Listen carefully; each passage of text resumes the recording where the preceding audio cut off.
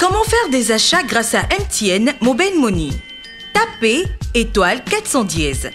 Choisissez 1. Envoi d'argent. Ensuite, choisissez 1. Abonné mobile et validez.